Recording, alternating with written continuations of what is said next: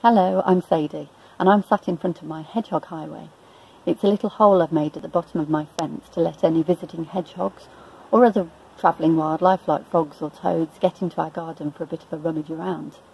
I'm hoping now that the nights are getting a bit longer that we're going to catch one visiting us fairly soon. We're ready for them when they get here. We've added a ramp in our pond to help them get in if they fall in.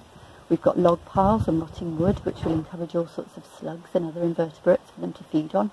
And when autumn comes, I'll make some piles of leaves for them to hide away in, should they choose to stick around for a winter nap. You might already know that hedgehog numbers have really fallen in the last 50 years.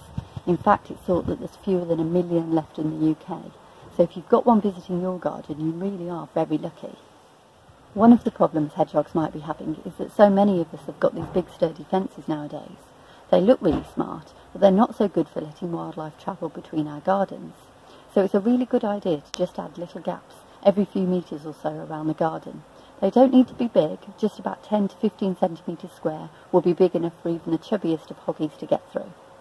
And of course we need our neighbours to do the same, and their neighbours, and their neighbours beyond that. Hedgehogs can travel up to two kilometres a night looking for food. So in order to give them the room they need to roam, we really need to work together. So why not have a chat with your neighbours and see if you can turn your whole street into a hedgehog highway? Don't forget we've got some really good resources if you want to find out more about hedgehogs on our website. And if you are lucky enough to spot one, please tell us about it using our online form. Since we started recording, we've had about 700 sightings, and it gives us a really good idea about where they are in Worcestershire. We think they're fairly widespread, but there are definitely some gaps, so we need as many people as possible telling us when and where they see them, so that we've got a really good understanding of how they're doing and whether things like this are really making a difference to help.